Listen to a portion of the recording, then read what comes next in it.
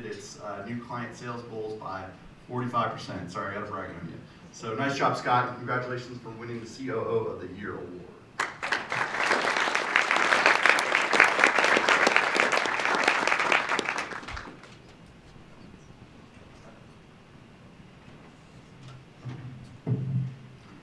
Thanks, Pete. Uh, Thanks to the Denver Business Journal and Pete staff. Uh, Congrats to Miles and Pete as well. Um, it- I just want to say thanks to a couple of, of uh, members of our team, Sarah Silva and Julie Price, and then our CEO Brooke Mahoney, who could not be with us today, uh, for nominating me for this. It's a lot of work to, to go through that process. Um, I'm blessed to have my wife and my adult sons over there, Taylor and Jordan and Debbie. Uh, Deb's got a successful career in her own right. Jordan's an Eagle Scout, and Taylor graduates from uh, UCD with a master's in healthcare administration, if anybody's interested in in why.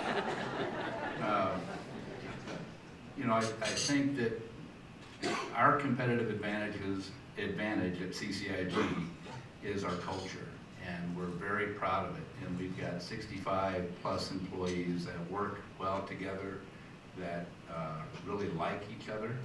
Um, They're very ambitious, they're very innovative, we problem solve together, and it's just a flat, a flat organization chart. We don't have a lot of hierarchy, and so if a fire breaks out in the corner, there's a lot of people, uh, regardless of name, rank, and serial number, trying to solve it. Um, you know, I grew up in a strong Christ-centered family uh, back in Virginia, and uh, and I just think a lot of the things in terms of wellness and community support are just in my DNA uh, because of that. And I think everybody at the table uh, with with us tonight is, feels the exact same way. So, um, thanks again. I'll leave you with a uh, with a quote that struck me last night. Uh, we must be the change we wish we wish to see in the world.